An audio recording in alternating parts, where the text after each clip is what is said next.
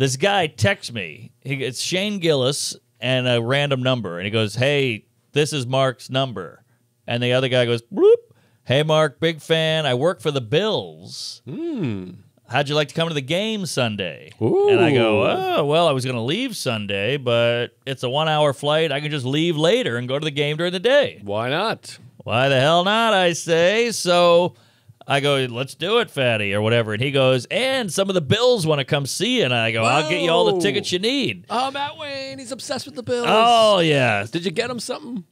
I got him a hoodie. Hey, You can have it. okay, Okay. So you got you a hoodie. But I don't want it. I see. Well, I thought about Sean Murphy and I got him a ticket. He flew in for the game. I'd appreciate it next time if you thought about Wayne. Yes, you got a hoodie coming your way, but smells like me. Known him a lot longer than you known Murph. That's true. So quick to say I got him a hoodie. Sure, I got it for him. We're on camera here.